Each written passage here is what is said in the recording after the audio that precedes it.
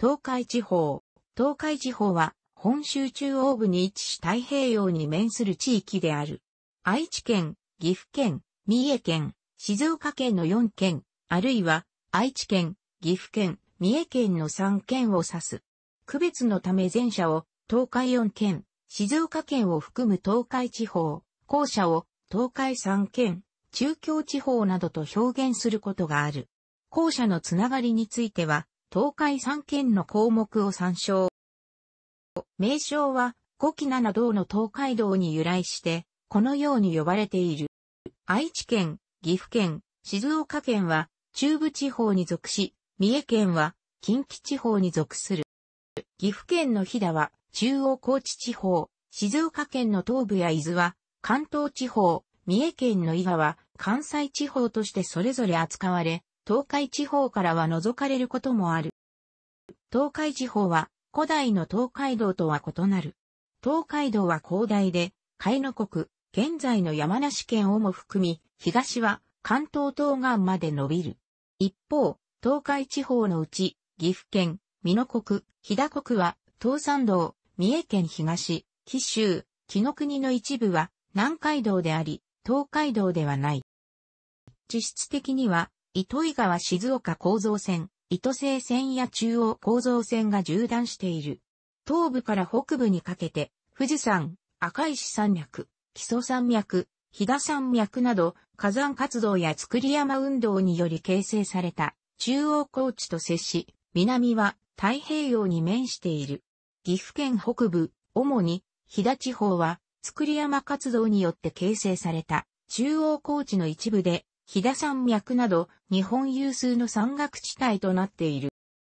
沿岸がプレート境界になっているため、東海地震や東南海地震などの警戒区域になっている。南東端の伊豆半島は火山活動と海面の上昇で形成されたリアス式海岸に山地が迫った地形である。伊豆半島の西側に広がる駿河湾岸は火山活動や作山運動により形成された山岳地帯を狩野川、富士川、安倍川、大井川といった大河川の侵食作用で形成された小規模な平野が分断している。駿河湾の西側の遠州灘沿岸部及び、三河湾沿岸部は、駿河湾岸より火山活動や作山活動の停止が比較的早かったため、海面の下降により形成された台地が広がっている。伊勢湾沿岸は、基礎山線などの河川の堆積作用により、濃尾平野や伊勢平野などの大規模な平野が広がっている。島半島から熊野灘沿岸はリアス式海岸となっている。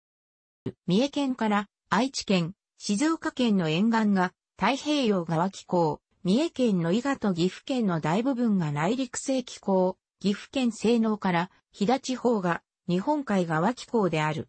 濃尾平野の夏は高温多湿で全国でも有数の酷暑地帯である。冬は濃尾平野で伊吹おろしという乾燥した冷たい風が吹くため体感温度が北日本並みにまで低下する日がある。強い冬型の気圧配置になると、雪雲が日本海から伊吹山地や鈴鹿山脈を越えて、岐阜県、西濃や愛知県西部、三重県北部などに大雪を降らせることがある。近年の稀有な記録的大雪例として、1995年、平成7年12月25日から12月27日にかけての寒波で、三重県四日市市で最新積雪53センチメートル、1996年、平成8年1月9日から1月10日にかけての寒波で岐阜県岐阜市で最新積雪48センチメートルの大雪を記録した。岐阜県と静岡県の一部は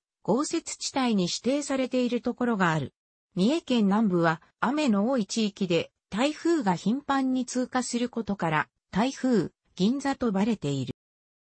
歴史地理学的な東海地方は、木曽山線と富士川の間の東海道沿線のうち、愛知県の全域と静岡県の富士川以西にあたり、機内政権の領土になった三重県と関東の諸政権の領土になった静岡県東部とに挟まれた範囲である。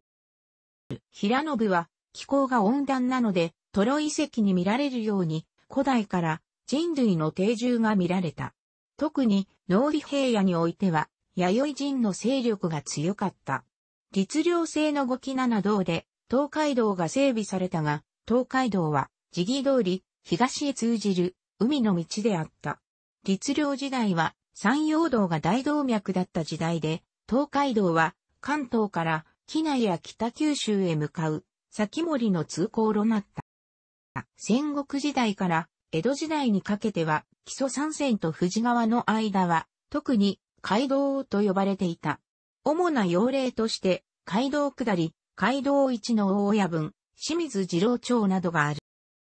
関東と機内との間の廊下として、鎌倉時代以降に権力者から重視された。かつて、源義朝は、京都での内部構想の末に、伊豆国の昼ヶ小島に流刑された。後に、頼朝が鎌倉幕府を開くと、藤川伊藤は鎌倉幕府の領土となった。戦国時代になり、戦国大名が乱立すると、東海道は権力争いの場となった。中でも尾張国と西三河の2地域からは、織田信長、豊臣秀吉、徳川家康といった三英傑を輩出した。また駿府、静岡は今川義元と徳川家康の本拠地となった。江戸時代になると、江戸、東京と京都を結ぶ東海道53次が整備され、その往来は日本第一の規模となった。この東海道沿線の中には、宿場町や城下町から発達した都市も多い。明治維新で中央集権体制が成立すると、名古屋が地方統治の拠点となり、それ以降は政府機関が集中するようになった。また、廃藩置県期の東海地方には、名古屋県、額田野県、豊橋県、浜松県、静岡県、足柄県などが分立していたが、1876年、明治9年8月以後は、愛知県と静岡県に削減され、現在に至っている。1889年、明治22年2月には、東海道本線が開業し、天竜川と木曽三線の間の地域は、綿織物工業の中心地となった。明治時代以降、名古屋市を中心とする中京地方で、製紙、紡績業などが盛んになり、昭和に入ると、鉄鋼、機械工業などが集積して、中京工業地帯が形成される。そのため、戦前、戦中にかけて軍需産業の重要拠点となるが、戦後は自動車産業を主とした機械工業へと転換を遂げ、日本随一の工業集積地帯となる。また、第二次世界大戦後の高度経済成長期には、静岡県地域にも東海工業地域が形成されるようになる。太平洋ベルト上に位置しており、日本を代表する工業地帯が形成されている。このうち、愛知県及び三重県北部を中京工業地帯、静岡県の主に臨海部一帯を東海工業地域と呼ぶ。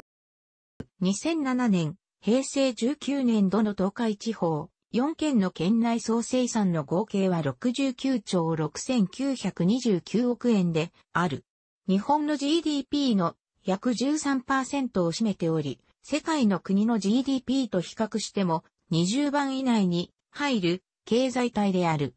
サウジアラビアやアルゼンチンなど一部の G20 加盟国の国より経済規模が大きい。中京圏の中枢である名古屋市を筆頭に多くの工業都市が連なって産業と人口が集積していることから首都圏の中枢である東京特部から近畿圏の中枢である大阪市にかけての都市群を東海道メガロポリスということもある。自動車産業が地域経済の中心となっており、トヨタ自動車、豊田市と鈴木、浜松市中区の2社はこの地域に本社を構えるほか、電装や愛信、刈谷市などの自動車関連企業の本社や、場、鈴鹿サーキット、鈴鹿市や、富士スピードウェイ、小山町などの自動車関連のレジャー施設などが集積している。これらの特徴もあって、モータリゼーションが日本で最も発達した地域でもり、自家用車の保有台数は日本有数の高さである。その反面、鉄道輸送力は関東、関西に対して劣っているほか、名鉄の一部路線の廃線をはじめとする鉄道、バスの存続問題などが叫ばれている。また、日本一の自動車保有台数を誇っている愛知県の交通事故死亡者数は2005年から2009年、平成17年から21年まで5年、連続ワースト1である。